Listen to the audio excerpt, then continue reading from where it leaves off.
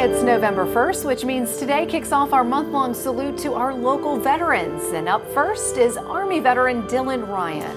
Dylan's a 2019 graduate of James Clemens High School. He served three years active duty, including a tour in Poland and Romania. His mom tells us she's happy to say he's home safe and living back in Sweet Home, Alabama. Dylan, from your mom, the rest of your family, and all of us here at WAAY 31, thank you for your service.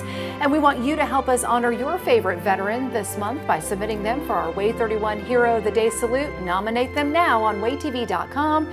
Just look for the Hero Salute tab.